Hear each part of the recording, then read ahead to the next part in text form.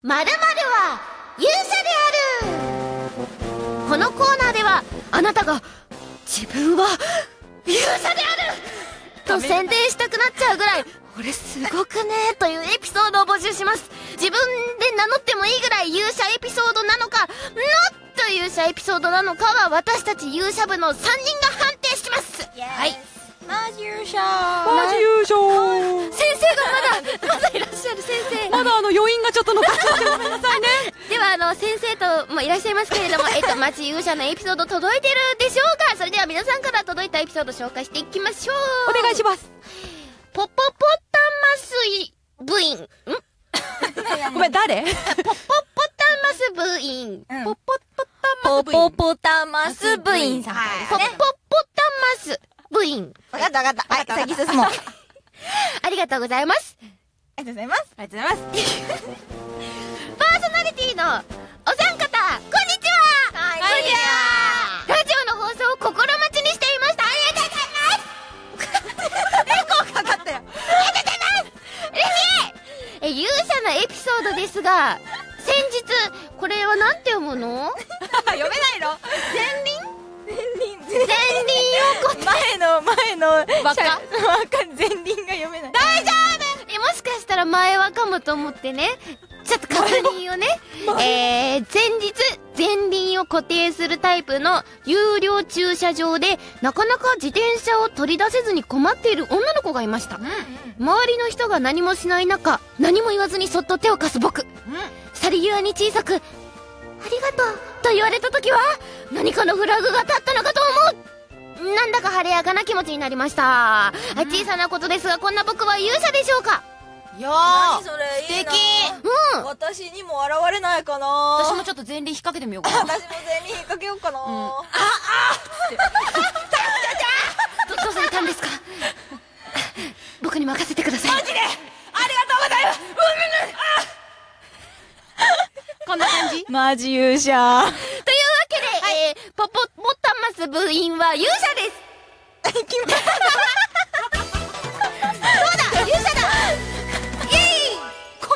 んな音流れるのね勇者って感じ。いいですね。勇者スタートですよ。はい。続きましてヨナ部員からいただきました。ありがとうございます。ありがとうございます。僕が勇者であると宣伝したくなるエピソードは、34人で人が多いところを歩いている時、気づいたら僕がいつも先頭を歩いています。途中で気づいて一人で RPG みたいと思っていますやはり僕は勇者なのでしょうか？判定お願いします。勇者ですね。それは。まだ私たち何にも話せてないんだけど。もう勝手に一人でやるコーナーなんですかこれ？どう思うはい勇者に一票。わまあ、なんかすごいパルニャスみたいな人だね。そうだね。うん、この部員。いや、すごいことが起きたんですよ。ここで言うのもあれなんですけど、あの、実はこのスタジオに来るときに3人で仲良く来たんだよね。お茶してからね。ね、お茶してから来たんですけれども、そこでこう電車に乗ってね、この最寄りの駅に着くときに、あの、あ、電車乗り間違えたと。とりあえず乗ったものの、あ、これ止まらないわ、なんとか駅ってなって、降りようって言って、私とともえちゃんが降りた瞬間にドアが閉まるっていう。私なんか映画みたいと思った。二人が降りた瞬間プシッああ映画だって思っあとね、3人で歩いてる時に、パルニャスが先頭を歩いてて、それこそ、エスカレーター乗る時に、私とユミさん躊躇なく、立ってる方の側にスッて入ったんだけど、パルニャス一人でどんどん登っていっちゃうから。そうズンズンズスってって後ろ見たらいないからあれ？確かにうちらもそれを見ながら決して追いかけようとはしなかったよね。でもそこでねイエイって思ってた。嘘つけイエイって気持ちだったの？そうなの？まあでもその部員さんとじゃあ同じような感じですね。うん。どう？どう？勇者だと思う？ヨナさんヨナ部員勇者だと思うんでしょ、パルニャスが。パルニャスが勇者だと思う。じゃあそれでいいんじゃない？うんマジ勇者。マジ勇者。ヨナ部員おめでとうございますマジ勇者。マジ勇者。いいね。あー本物より本物だ ひどい。ということで、えー引き続き我こそは勇者であるというエピソードをお持ちのあなたからメール待ってます私たち勇者部が判定させてもらいます以上〇〇は勇者であるでした。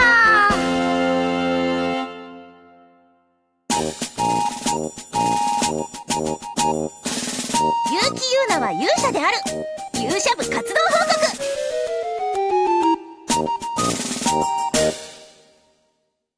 続いては、こちらのコーナーです。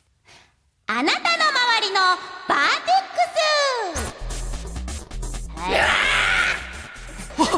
ーテックスがここにいるぞ。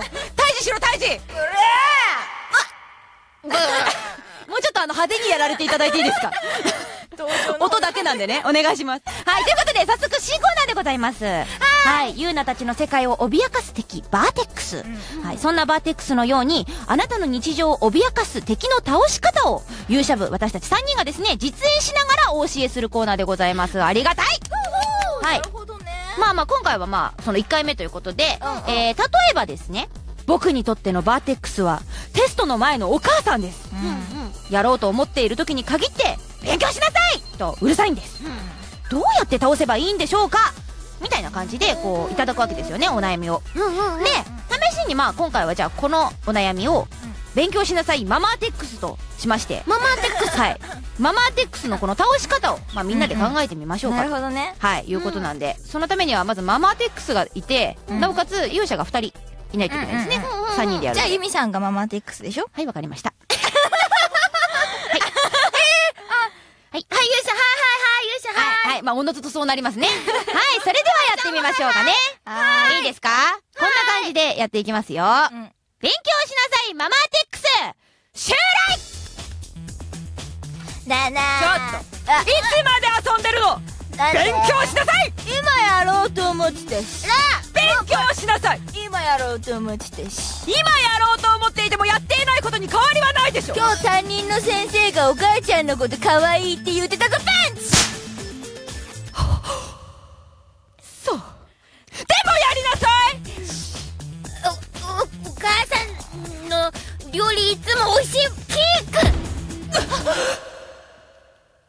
美味しいお母さん、あれ ?22?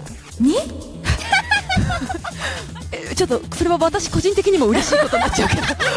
いいのかしら？あれ？母ちゃん、22? それは、あの、中の人的にも受け取っていいのかしら？両方だよ。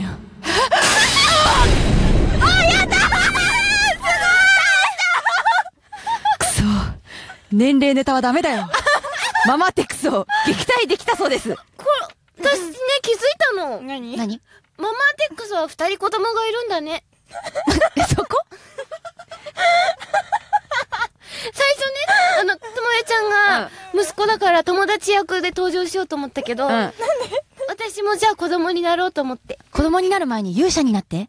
私は勇者にオッケーはい。ということで、こんな感じで、私たち勇者が倒し方をね、考えていきますんで。まあ、今回の場合は、だから要は、そのお母さんを、こう、褒めに褒めて。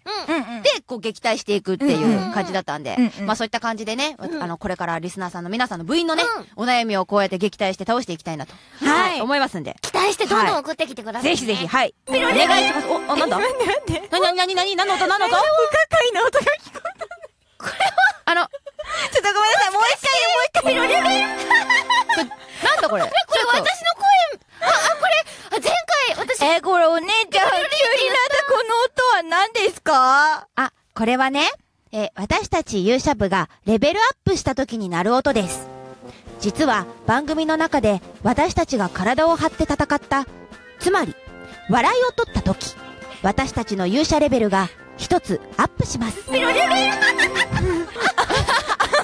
まさかの、まさかのね。ピロリロリはい。うるさいよー。負け直しいのやめてくださいと、スタッフさんからのお達しでございます。はい。ということで、これはね、まあ10レベルごとにレベルアップ達成ボーナスというものがどうやら用意されているそうなんですよ。ほうほう、はい何もらえるんだろう。はい。ちなみに、当面の目標であるレベル10になった時にもらえるボーナスは、スペシャルアイテムの清水だそうです。待って待って待って、あんまり水に、まあ、いい思い出がない、この番組でね。そうですねそれでね、あの、もしかしてこれは、あれですか、三森さんの胃液ですか？ありえますねあー、マジか。レベルはい10になったというか確実にまあ怪しい水でしょうね。